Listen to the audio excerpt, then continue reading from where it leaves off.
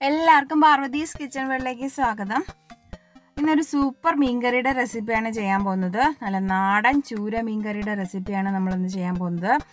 നമ്മുടെ ചാനലിൽ ഇതുവരെയും നമ്മൾ മീനിന്റെ റെസിപ്പികളൊന്നും ചെയ്തിട്ടില്ലായിരുന്നു. വേറെ ഒന്നുമല്ല നമ്മുടെ ഈ ലോക്ക്ഡൗൺ സമയത്ത് നല്ല മീനൊന്നും കിട്ടിയിട്ടില്ലായിരുന്നു. അതുകൊണ്ടാണ് ഇത്രയും വൈകിപ്പോയത്.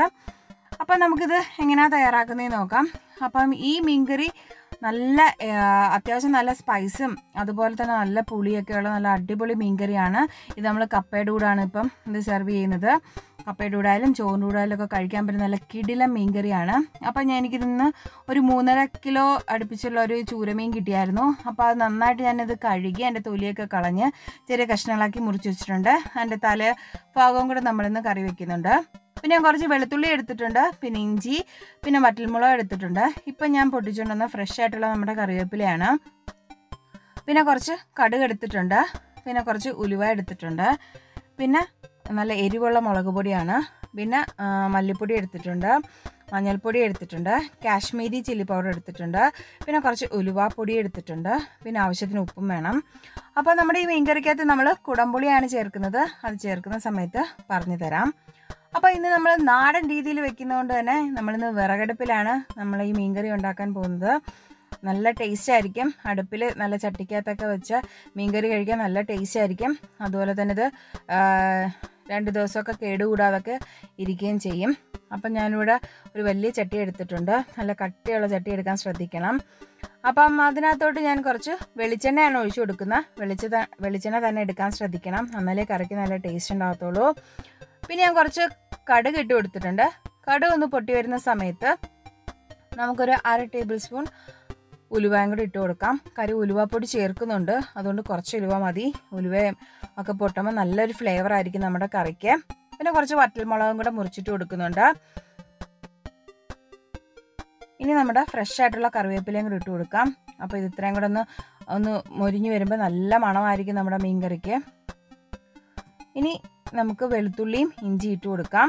ഞാനിവിടെ രണ്ട് രണ്ടുകൂടം വെളുത്തുള്ളി എടുത്തിട്ടുണ്ട്. അത് നൈസായിട്ട് കട്ട് ചെയ്തിട്ട് കൊടുത്തിട്ടുണ്ട്. അതുപോലെ കുറച്ച് വലിയ കഷ്ണം ഇഞ്ചിയാണ് എടുത്തിരിക്കുന്നത്. അത് നൈസായിട്ട് കട്ട് ചെയ്തിട്ട് എടുത്തിട്ടുണ്ട്. ഇനി നന്നായിട്ടിത് മിക്സ് ചെയ്ത് കൊടുക്കണം. ഇത് നന്നായിട്ട് നല്ല ചുവന്ന കളറാവുന്നവരെ നമുക്കിത് ഒന്ന് വഴറ്റി കൊടുക്കണം. എന്നാൽ മാത്രമേ നല്ല കളർ നമ്മുടെ കറിക്ക് ഉണ്ടാവത്തുള്ളൂ. അപ്പം നമ്മൾ അടുപ്പിലാണ് വെച്ചിരിക്കുന്നത്. അപ്പോൾ തീയൊക്കെ നിങ്ങൾ ശ്രദ്ധിക്കണം.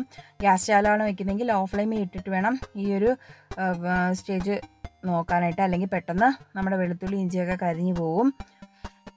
കണ്ടോ ഇപ്പോൾ നന്നായിട്ട് ചുമന്ന് വന്നിട്ടുണ്ട്. ഇത്ര നല്ല കളറായ മാത്രമേ നമ്മുടെ നമ്മുടെ മീൻകറിക്ക് നമ്മൾ ഉദ്ദേശിക്കുന്ന കളർ ഉണ്ടാവത്തുള്ളൂ. അല്ലെങ്കിൽ നമ്മുടെ മീൻകറിക്ക് നല്ല കളർ കിട്ടത്തില്ല. ഇനി നമുക്ക് ഇതിനകത്തോട്ട് നമ്മുടെ പൊടികളൊക്കെ ചേർത്ത് കൊടുക്കാം. ഞാൻ ആ ഒരു അര ടേബിൾ സ്പൂൺ മഞ്ഞൾപ്പൊടി ഇട്ട് കൊടുത്തിട്ടുണ്ട്. അതുപോലെ തന്നെ ഒരു കാൽ ടീസ്പൂൺ ഉലുവാപ്പൊടി ഇട്ട് കൊടുത്തിട്ടുണ്ട്.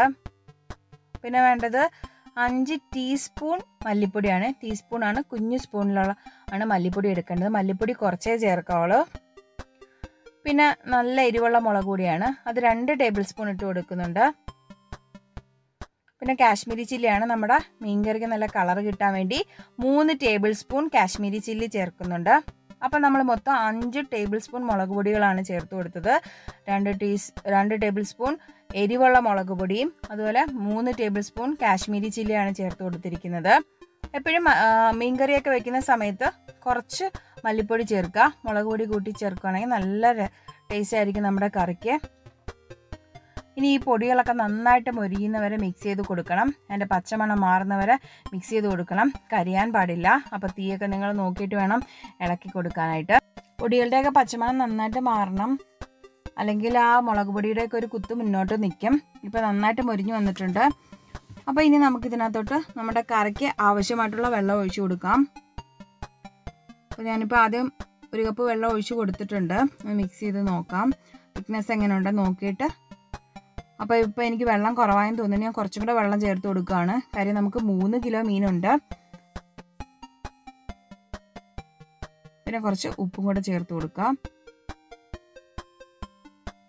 പിന്നെ ചട്ടിയിലൊക്കെ കറി വെക്കുമ്പോഴത്തേക്ക് ഓവറായിട്ട് അങ്ങ് വറ്റിച്ചെടുക്കരുത്. കാര്യം ഇത് തണുത്ത് കഴിയുമ്പോൾ വീണ്ടും നല്ലവണ്ണം തിക്നെസ് കൂടും.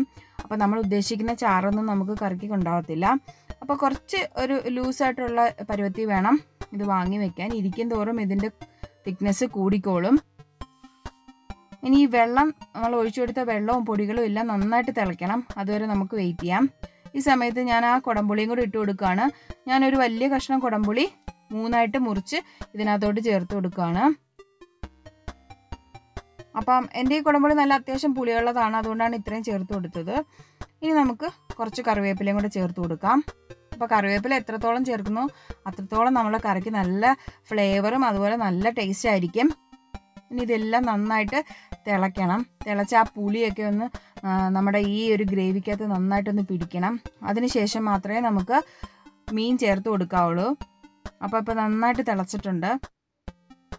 അപ്പോൾ ഈ കറി എന്ന് വെച്ചാൽ വളരെ ഈസി ആയിട്ട് ഉണ്ടാക്കിയെടുക്കാൻ പറ്റുന്നൊരു കറിയാണ്. കാര്യം നമുക്ക് തേങ്ങ അരക്കേണ്ട പിന്നെ അതുപോലെ തന്നെ ഉള്ളി വഴറ്റി ഒത്തിരി സമയമൊന്നും കളയണ്ട. പെട്ടെന്ന് തന്നെ ഉണ്ടാക്കിയെടുക്കാൻ പറ്റുന്നൊരു മീൻകറിയാണ്. അതേസമയം ടേസ്റ്റാണ് ഒരു കുറച്ച് ദിവസം കേടുകൂടാതിരിക്കുകയും ചെയ്യും നമ്മൾ ചട്ടിയിലൊക്കെ വെക്കുന്നത് കൊണ്ട് അപ്പം വെള്ളം നന്നായിട്ട് തിളച്ചിട്ടുണ്ടായിരുന്നു. അപ്പം നമ്മുടെ മീൻ ഇതിനകത്തോട്ട് ചേർത്ത് കൊടുക്കുകയാണ്.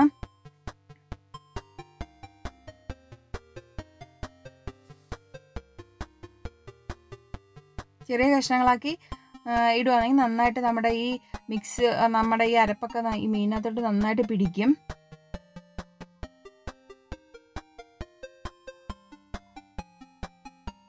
അപ്പോൾ ഞാൻ ഞാൻ മൊത്തം മീൻ ഇതിനകത്തോട്ട് ചേർത്ത് കൊടുത്തിട്ടുണ്ട്.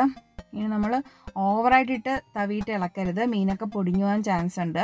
അപ്പം ജസ്റ്റ് ചെറുതായിട്ട് ആ സൈഡിലൊക്കെ ഒന്ന് ഒന്ന് ഇളക്കിയിട്ട് നന്നായിട്ട് തിളച്ച് ഇത് കുറുകി വരുന്നവരെ നമുക്ക് വെയിറ്റ് ചെയ്യാം. തീയൊക്കെ നന്നായിട്ട് ഇട്ട് കൊടുക്കുക. ഗ്യാസ് സ്റ്റൗവിലാണ് വെക്കുന്നതെങ്കിൽ ഒരു മീഡിയം ടു ലോ ഫ്ലെയിം ഇട്ട് വേണം ഇത് തിളപ്പിച്ച് വറ്റിച്ചെടുക്കാൻ വേണ്ടി. ഹൈ ഫ്ലെയിം ഇടരുത്. കാര്യം മീനിനകത്തൊന്നും മസാലയൊന്നും പിടിക്കത്തില്ല. എപ്പോഴും ലോ ഫ്ലെയിം ഇട്ടിട്ട് വേണം മീൻകറിയൊക്കെ നന്നായിട്ട് തിളച്ച് കുറുക്കി എടുക്കാനായിട്ട് എന്നാലേ നല്ല ടേസ്റ്റ് ഉണ്ടാകത്തുള്ളൂ നമ്മുടെ കറിക്ക്. അപ്പോൾ നന്നായിട്ട് കുറുകി വന്നിട്ടുണ്ട്. ഇതെന്റെ ഹസ്ബൻഡിന്റെ അമ്മയുടെ റെസിപ്പിയാണ് കേട്ടോ. അമ്മ ഇങ്ങനെയാണ് മീൻകറി വെക്കുന്നത്. വളരെ ഈസിയാണ് സിമ്പിളാണ് നല്ല ടേസ്റ്റാണ് കപ്പയുടെ കൂടെ ഒക്കെ കഴിക്കാൻ പറ്റിയ സൂപ്പർ കറിയാണിത്. അപ്പോൾ ഇനി ഞാൻ ഇതിനകത്തോട്ട് തീ ഇട്ട് കൊടുക്കുന്നില്ല ഓവറായിട്ട് ഈ കനലിൽ തന്നെ ഈ മീൻകറി കുറുകി വരണം. അപ്പോൾ ഇനി നമ്മൾ തവി ഇട്ട് ഇളക്കരുത്. ജസ്റ്റ് ഇതുപോലെ ഒരു തുണി വെച്ചിട്ട് ചുറ്റിച്ചെടുക്കുകയേ ചെയ്യാവുള്ളൂ. അപ്പോൾ നമുക്ക് ഇതിന്റെ തിക്നെസ് എങ്ങനെ ഉണ്ടെന്ന് നോക്കാം. കണ്ടോ? അപ്പോൾ ഇത് ഇപ്പോൾ കുറച്ച് ലൂസായിട്ടാണ് ഇരിക്കുന്നത്. അപ്പോൾ കുറച്ചും കൂടെ ഒന്ന് തിക്കായിട്ട് നമുക്കിത് വാങ്ങി വെക്കാം. ഓവറായിട്ട് തിക്കാക്കരുത് ഇപ്പോൾ ഇത് ജസ്റ്റ് ലൂസായിട്ടാണ് ഇരിക്കുന്നത്. തണുത്ത് കഴിയുമ്പോൾ നന്നായിട്ട് കുറുകും. നമ്മുടെ കറക്റ്റായിട്ടുള്ള ഗ്രേവി നമുക്ക് കിട്ടും. അപ്പോൾ കുറച്ച് സമയം കൂടെ ഈ ചെറിയ തീയിൽ തിളച്ചൊന്ന് കുറുകട്ടെ. അപ്പോൾ ഞാൻ അതിന് മുമ്പ് കുറച്ച് കറിവേപ്പിലയും കൂടെ ചേർത്ത് കൊടുക്കുകയാണ്. അപ്പോൾ ഈ ലാസ്റ്റ് ചെയ്ത് കറിവേപ്പില ചേർക്കുമ്പോഴത്തേക്ക് നല്ല മണമായിരിക്കും നമ്മുടെ ചൂരമീൻ കറിക്ക്. അപ്പോൾ അത് ഇവിടുന്ന് കുറുകി വരട്ടെ. അപ്പം ഇപ്പോൾ നോക്കിക്കേ നന്നായിട്ട് കുറുകി വന്നിട്ടുണ്ട്. നല്ല കറക്റ്റ് ഗ്രേവിയാണ് അപ്പോൾ ഈ ഒരു കൺസിസ്റ്റൻസിയിൽ നിങ്ങളിത് വാങ്ങാൻ ശ്രദ്ധിക്കണം. ഓവറായിട്ട് തിക്കാക്കരുത് കറി ഇരിക്കും തോറും ഇത് തിക്നെസ് കൂടും. അപ്പോൾ എന്റെ ഈ ഒരു മീൻകറിയുടെ റെസിപ്പി നിങ്ങൾക്ക് ഇഷ്ടപ്പെട്ടുണ്ടെങ്കിൽ നിങ്ങൾ ലൈക്ക് ചെയ്യണം നിങ്ങളുടെ ഫ്രണ്ട്സിനൊക്കെ ഒന്ന് ഷെയർ ചെയ്യണം. അതുപോലെ തന്നെ നിങ്ങളുടെ അഭിപ്രായങ്ങളെല്ലാം എനിക്ക് കമന്റ് ചെയ്യാൻ മറക്കരുത്. എന്റെ ചാനൽ ഇതുവരെയും സബ്സ്ക്രൈബ് ചെയ്യാത്തവരൊന്നും സബ്സ്ക്രൈബ് ചെയ്യുക. തൊട്ടടുത്തുള്ള ബെല്ലൈക്കണും കൂടെ ഒന്ന് അമർത്താൻ ശ്രദ്ധിക്കണം. അപ്പോൾ അടുത്തൊരു കിടിലം വീഡിയോ ആയിട്ട് വരുന്നവരെ താങ്ക്